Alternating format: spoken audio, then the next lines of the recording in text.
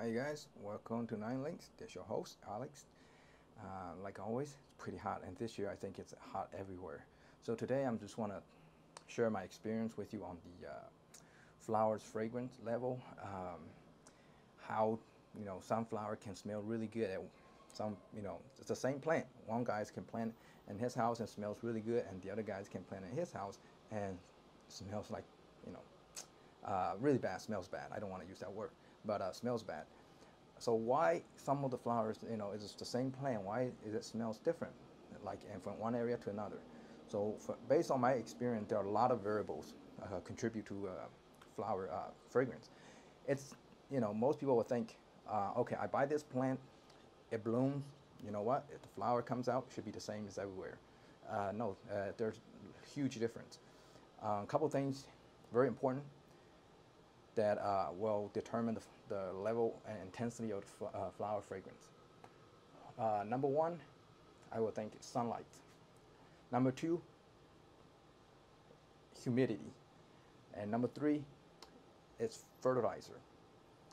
So, um, and also I think there's another fourth uh, variable, it's um, genetic. Uh, why I say it's genetic is, um, let, okay, let's address the first First one on the sunlight. Most plants, if they are full sun, like for example, white champaca is actually a full sun plant eh, and in the humid region. But in a dry heat region, you cannot put it in the full sun.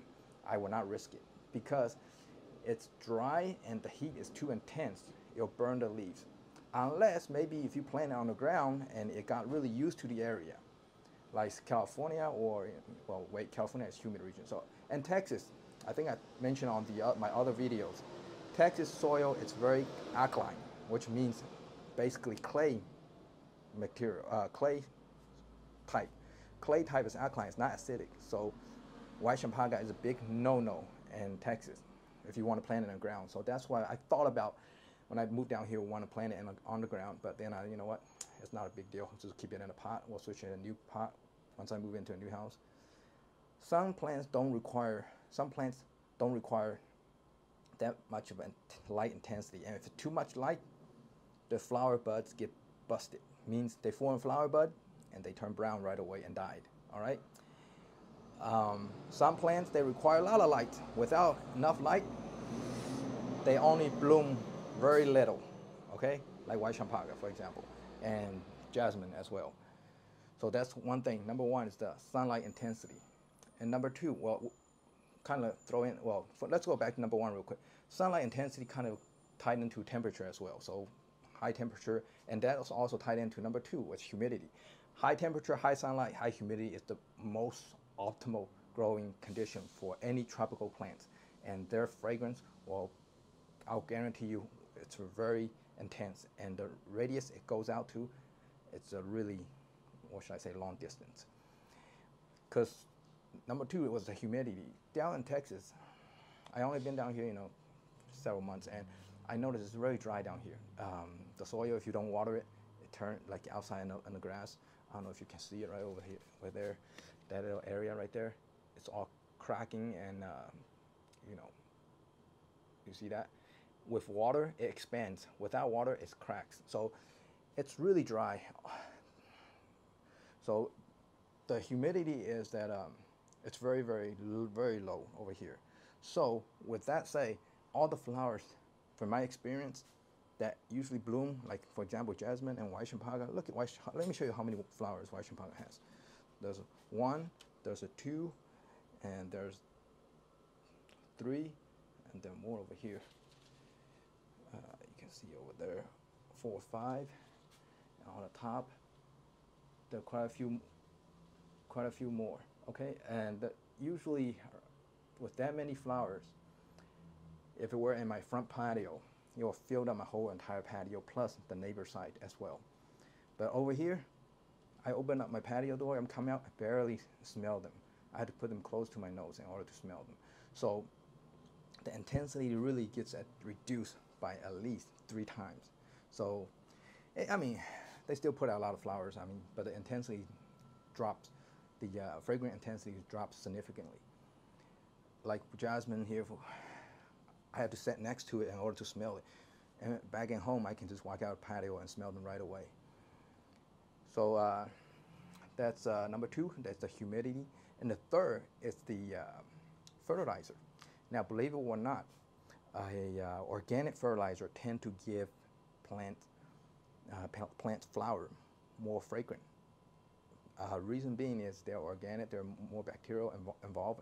That I don't really sure, but you can you can look it up. The reason I notice is that uh, down here, I no longer have rice water, the yucky smelling rice water. I've been using just uh, Texas tap water, no rainwater as well, just Texas tap water, and a little bit of a slow release. Well, depends on which plant you talk to. Some might use a lot of uh, fertilizer and some not. They all synthetic fertilizer. They no no organic down here besides the uh, neem leaves that I use for mulch. So that really also reduced the fragrance intensely. And so sometimes there's like for example, um, fig tree. All right, if fruits. People say that if you use organic fertilizer like chicken poops, worm casting, um, rice water and stuff, the, when the fruit comes out, it's more sweeter and more natural tasting. But when you use synthetic fertilizer, the fruit is more uh, earthy. Uh, it's just not as if you eat fruits, uh, figs uh, many times, and you're a professional fig grower, you will tell right away it's a little bit off, but it's not that bad, but it's just a little bit off. And also, uh, some per, uh, some people told me before um, when you use uh, organic fertilizer, it helps with the uh, flower longevity. The flower will last a lot longer than uh, synthetic fertilizer because synthetic fertilizer is like a boost. Okay, flower out, flower gone, and flower dies. Uh, organic more flower out, lasts a little longer, than flower dies. You know, it's at that part. I don't know. I you know people told me about that, so I just want to share this experience with you. So when you move to different region or different states, um, make sure you consider, um, what should I say, the uh, humidity level, sunlight, temperature, and you know, uh, what's available over there. And it really helps you uh, understand not all flowers you know, when they flower, it smells good. And the fourth one, which I throw, kind of throw in there, is I say genetic because if you make a cutting from my jasmine right now, and then you grow another jasmine, put it right next to mine, with all the conditions being the same, the flower should smell exactly the same. Now, let's say, for example, if a jasmine has a seed, and you plant that seed and grow a new jasmine out, then keep everything the same, just to see difference. Your plant and my plant might not smell alike. Might smell a little bit intensely, um, intense than mine, or maybe no uh, fragrance a lot lower than mine. So that's why most of time, I also suggest when people buying plants, if you see a plant you like, ask for cuttings instead of asking for seeds. Asking for seed, it takes a long time to grow, and also there's, there's no guarantee what the fragrance from the seed might be. It could be really good, it could be most of the time it's bad. Uh, anyway, all right, that's it for today, guys. Um, thank you for watching my video, and please click like and subscribe if you want to hear more in the future.